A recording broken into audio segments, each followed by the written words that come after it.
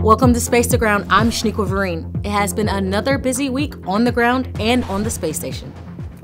On Sunday, August 20th, the uncrewed Roscosmos Progress 83 cargo spacecraft undocked from the International Space Station's Zvezda service module.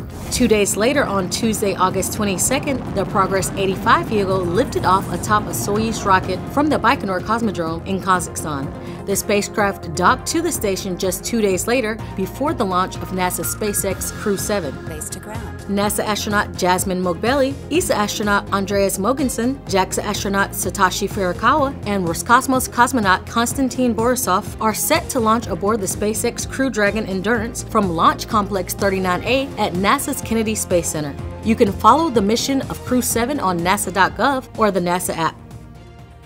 In late September, Mogensen will take command of the space station, the sixth European to do so.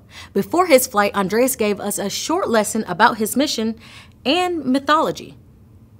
My ESA mission is named Hugin, which derives from the name of one of the ravens of the old Nordic god Odin.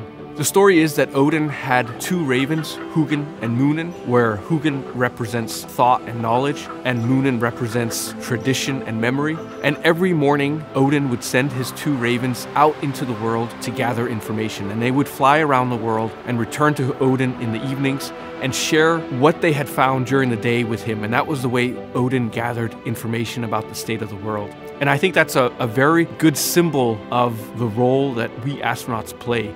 We travel out into space to gather knowledge, to expand our understanding of our world and the universe, and return that knowledge to the Earth, to humanity, for the benefit of us all. And that's Space to Ground for now. Thanks for watching. We'll see you next week.